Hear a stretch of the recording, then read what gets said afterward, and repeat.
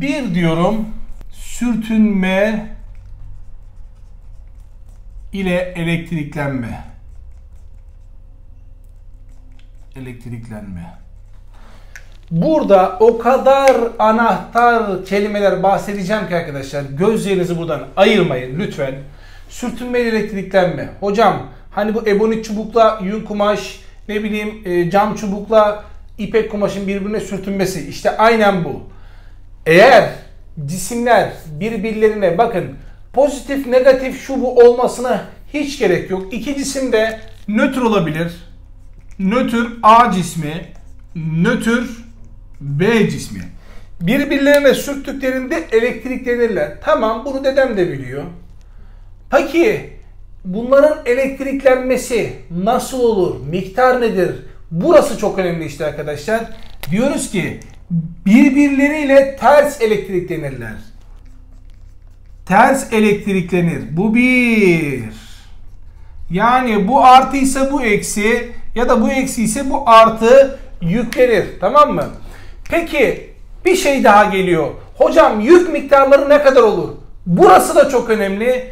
Diyorum ki eğer bu işte 5 tane artı aldıysa bu da 5 tane eksi alacak. Cismin bakın sürtünme ile elektriklenmede cismin büyüklüğüne küçüklüğüne bakılmaz. Yük miktarına bakılmaz. Sadece ters elektriklenme olur. Ne kadar olur? Biri ne kadar artı alıyorsa ötekisi de o kadar eksi alacaktır. Eksi pozisyona geçecektir. Birbirlerinin tersi olacaktır. Buradaki en önemli husus budur. Testlerde ve sınavda beklediğim, karşınıza çıkmasını beklediğim mesele de budur. Sorularda çok görürsünüz. Yorum sorularında gelir arkadaşlar. Nasıl yüklenir? Ters yüklenir. Yüklenme miktarı ne kadardır? Birbirleriyle aynıdır. Birbirleriyle aynıdır. Sürtünme ile elektriklenme. Bahsetmiştik. İşte ee, ebonitle ya da plastik çubukla beraber yün, yün artı oluyordu, ebonit eksi oluyordu. Ne kadar artı eksi? Bu artı 10 alıyorsa diyelim ki atalım bu da eksi 10 alıyor. Tamam Cam çubukla neyi görmüştük? İpek kumaş. Bunlar ne kadardı arkadaşlarım? İşte cam çubuk artı alıyordu, ipek kumaş eksi alıyordu. Bu ne kadar artıysa o o kadar eksi. Geçiyorum 2'ye. Dokunma ile elektriklenme. Burada gerçekten şunu söylüyorum hani içim rahat olarak anlatıyorum çünkü neden çıkabilecek her şeyi üzerine basa basa size söylüyorum arkadaşlar. Önemli hususları eksik kalmıyor yani merak etmeyin. Tabi anlattığım yerlerde böyle şurayı burayı yazın demiyorum ama mutlaka durdurup videoyu oraya not alın arkadaşlar. Tamam. 2. Dokunma ile dokunma ile elektriklenme. Burada iki tane çok önemli husustan bahsedeceğim arkadaşlar. Dokunma ile elektriklenmede bizim iki tane maddemiz var. Diyelim ki iki elim farklı yükleri taşıyor diyelim tamam mı? Büyüklükleri falan her şey aynı ellerimizin. Bu iki elim farklı yüklerle birbirlerine geldiği zaman şu olay oluyor. Dokunma ile elektriklenmede yükler toplanıyor. E toplam yük sonra eğer cisimler aynı büyüklükte ise ikiye bölünüyor. Peki hocam aynı büyüklükte değilse yavrucum onun da cevabı var. O zaman şu oluyor. Kim daha büyükse o daha fazla yük alıyor. Tamam Mesela sağ elim daha büyük. Sol elimi küçültelim diyelim. Bunda beraber yükü paylaştılar. Diyelim ki ee, toplam yükümüz ne olsun? E, 9 olsun. Bu daha büyük. Bunun iki katı olursa bu 6'yı alacak. Bu da 3 tane yükü alacak. Dokunma ile elektriklenmede bakın yükler toplanıyor diyoruz. Peki ikinci bahsedeceğim çok önemli husus şuraya arkadaşlar 5 yıldız mı atıyorsunuz? 7 yıldız mı? 10 yıldız mı atıyorsunuz? Dokunma ile elektriklenmede hangi yük hareket eder? Kesinlikle pozitif yükler olduğu yerde kalır. Negatif yükler negatif yükler hareket eder diyorum. Mesela bakıyorum. İki tane aynı küremiz var. R yarıçaplı, R yarıçaplı. Niye hocam bunların yarıçapından bahsediyor? Büyüklüğünü yani eşit olduğunu göstermek için. Bu daha büyük olsaydı buna 2R yarıçaplı falan derdi. Tamam. Şimdi bunların yükü başlangıçta diyelim yüklerimiz Q artı Q eksi Q ile gösterilecek ya. Başlangıçta diyelim artı 3Q Bu da ne olsun arkadaşlarım? Eksi ee, eksi ne diyelim? 9 Q olsun. Okey mi? Birbirlerine dokunuyorlar. Birbirlerine dokunup ayrılıyorlar. Sonraki yükleri, son yüklerine bakalım. Toplayalım yükleri. Artı 3 ile eksi 9'u toplayın. Artı 3, eksi 9 daha ne oldu? Eksi 6. Bu toplam yük. Büyüklükleri eşit olduğu için ne yapıyorum? 2'ye bölüyorum. Eksi 3Q. İkisinin de son yükleri eksi 3Q olacak. Eksi 3Q olacak. Şimdi gelelim en önemli noktaya. Kim kime ne kadar yük verdi? Bakıyorum. Eksi 9Q artı 3Q. Hocam bu azalmış. Bu buna artı 6 tane vermiş. Öyle bir şey var mıydı? Yoktu değil mi? Artı yük değil. Eksi yük gider. O zaman bu artı 3'ten eksi 3'e geldiği için hocam bu artı veremeyeceği için eksi aldı. Kim verdi? Bu verdi. Kaç tane verdi? Farka bakın. 6 tane. Kendi farkına bakıp da anlayabilirsiniz. 6 tane negatif yük verdi. Negatif yük sayısı eksi 3'e düştü. 6 tane negatif yük verdi. Bunu artı 3'ten eksi 3'e getirdi. Gördük mü? Devam ediyorum. Birkaç tane daha bunları örneklendireceğim. Hocam nötr cisimler birbirlerine dokunduklarında da alışveriş yaparlar mı? Hayır yapmazlar. Alışverişin olması için farklılık olması lazım. Yani ikisi de artı olur. Olur alışveriş olur. İkisi de eksi olur. Olur. Biri artı biri eksi olur. Yine alışveriş olur. Ama ikisi de nötr olur. Olmaz. Mesela arkadaşlar bu R yarıçaplı. Şurası da ne diyelim 2R yarıçaplı. Şimdi büyüklüklerine göre yükler nasıl paylaştırılır bunları göreceğim. Göstereceğiz. Evet arkadaşlar. Diyelim ki buranınki artı 2 olsun. Artı 2Q olsun. Burası da ne olsun? Artı 13Q olsun. Dokundurulsunlar. Daha sonra ne olacak buna bakalım. Yükleri topluyorduk. Yükleri toplayalım. 2 artı 13 hocam ne oldu? 15. Arkadaşlar 15'i nasıl paylaştıracağım? Biri bir yarı çapta, biri iki yarı çapta. Kimin büyüklüğü ne kadarsa büyüklüğüyle doğru orantılı paylaştırılır. Doğru orantıyı nasıl yaparsınız? İsterseniz şöyle yapın. Yarı çapları toplayın. Hocam ben şu iki yöntem söyleyeceğim. İkisi de hangi kolayınıza geliyorsa. Yarı çapları toplayın. Toplam yarı çap 3 mü? Son yükü toplam yarı çapa bölün. Ne oldu? 15 bölü 3'ten 5. Tamam. Bu R'ye düşen artı 5Q. Buna düşen de bunun yarı çapı 2 miydi? Çarpın 2 ile bunu da eşittir. Artı 10Q'da buna düşecek olan yük deriz. Peki diğer yönteminiz ne hocam? Yükleri topladım 15 mi? Abi 15'i ben 1'e 2 olaraktan nasıl paylaştırırım? Paylaşayım bakalım 5'e 10 olur. Tamam biraz daha kafadan aynı şeye geliyor ama bunu kafadan yaparsınız. Hangisi kolayınıza gelirse. Yani büyüklüğüyle doğru orantılı. Nasıl yapıyoruz? Bir tane daha örneği gelecek bunun. Peki şu durumda kim kime ne kadar yük verdi? Hadi bakalım bunu tartışalım arkadaşlarım. Artı 2Q artı 13Q. Hocam bu artı 13'ten 10'a gelmiş. 3 tane artı Q verse tam güzel olacak.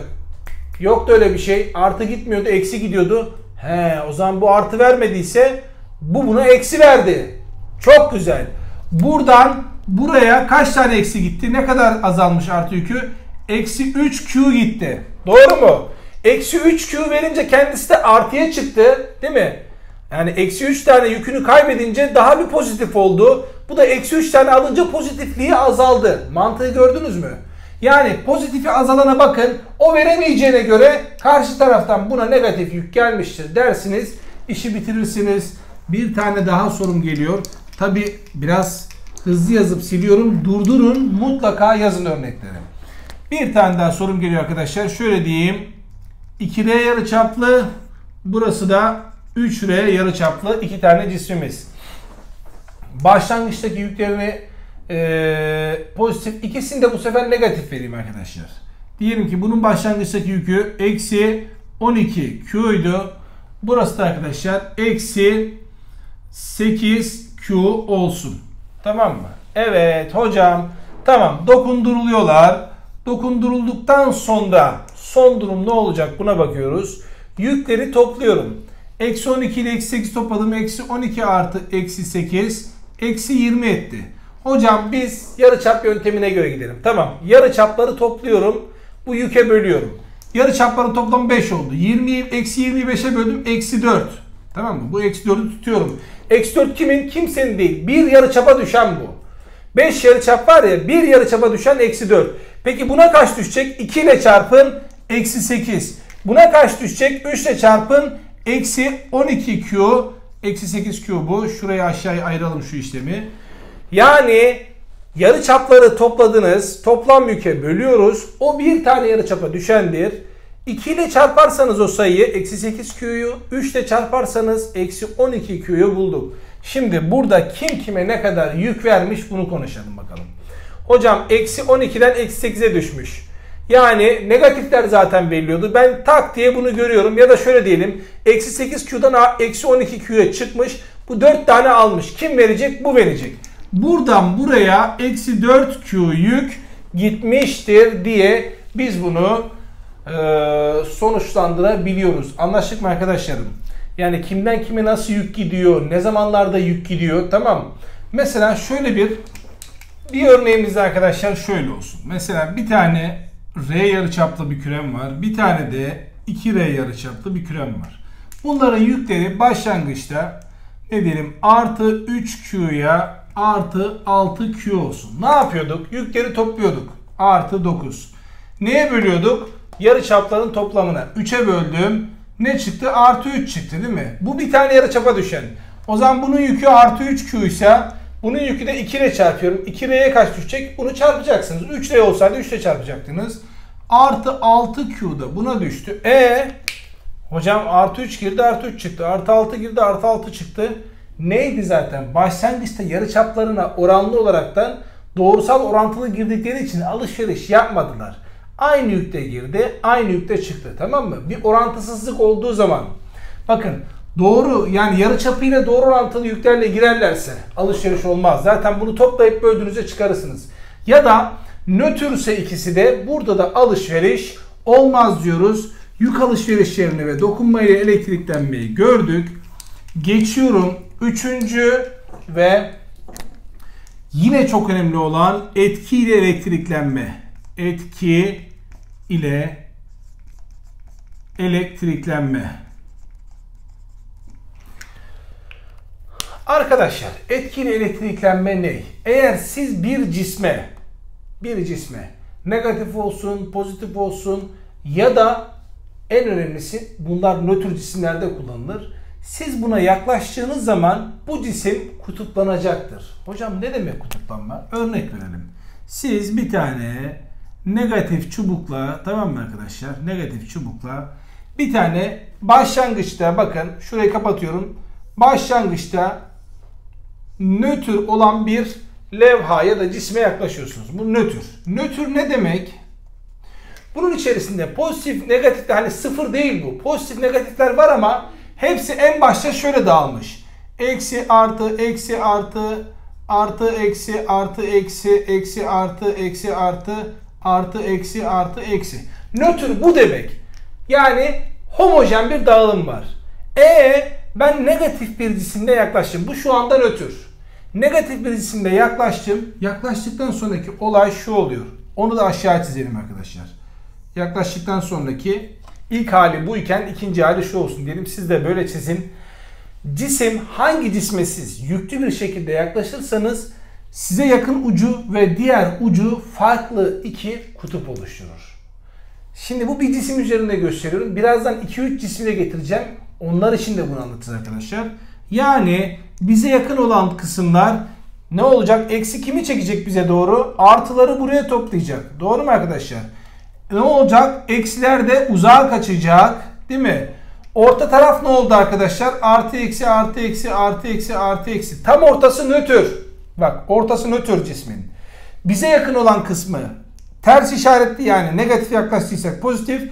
Uzak kısmı da yaklaştığımız cisimle aynı işaretli olur. Burası da negatif olur diyoruz. Anlaştık mı arkadaşlarım?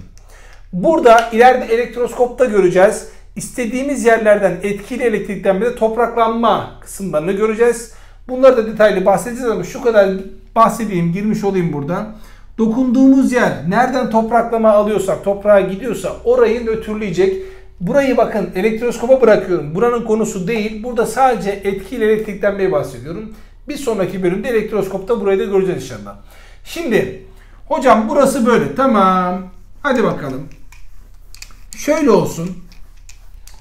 İki tane cisim var. Mesela bir tane pozitif bir çubuğumu veyahut da şöyle cismi yaklaştırıyorum. İki tane K ve L cismimiz var. İkisi de nötr. Yaklaştıktan sonra bunlar değil mi? Artı, eksi, artı, eksi, artı, eksi, eksi, artı, eksi, artı, eksi, artı. Nötrler. Yaklaştıktan sonra bu buna doğru yaklaşıyor. İkinci durumda ne olacak arkadaşlar? K var, L var. Kaç tane cisim varsa o kadar mantıklı ve matematiksel olaraktan kutuplandırıyorsunuz. Hocam o zaman burası bir kutup, burası ayrı bir kutup olacak. Doğru. Artı yaklaşıyorsam burası eksiler buraya toplanacak. Buralar artı olacak. E peki bu cisim etkisi altındayken yaklaştırdık ya bunu eksi yükledik artılar buraya geçti. Biz bunu ayırırsak ne olacak? Aynen bu şekilde ayrılacak. K cismi arkadaşlar K cismi negatif olacak tamamıyla. L cismi ne olacak? Pozitif olacak tamamıyla. Yani nasıl yaklaşıyorsun? Öyle etki altında bırakıyorsun ve etki altındayken bak bunu etki altından geri çekersem buna döner yine nötr olur. Etki altında tutarsam böyle olur. Eğer etki altında ayırırsam biri negatif biri pozitif ayrılır.